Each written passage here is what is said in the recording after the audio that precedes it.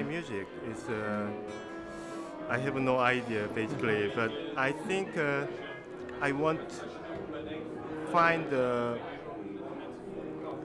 some kind of instrument from abandoned object. Yeah.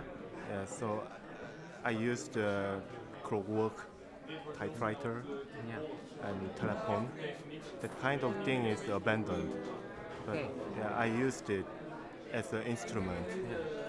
That's my point of uh, music, and I get interested in. I, I have interested in the musical structure because of uh, this instrument has different mechanism Yeah. as uh, uh, with typical instrument. Yeah. Uh, improvise is very good way to using abandoned object Okay. as a music Yeah. instrument. I just wanted to show, not show, just listening Yeah. the sound from that kind of object Yeah. because of, uh, we usually didn't think about that kind of object has their own sound, their own sound. Yeah. So I want to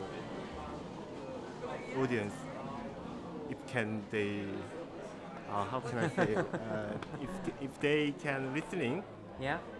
I want to uh, suggest to them this kind of uh, Yeah. object has their own sound. Yeah.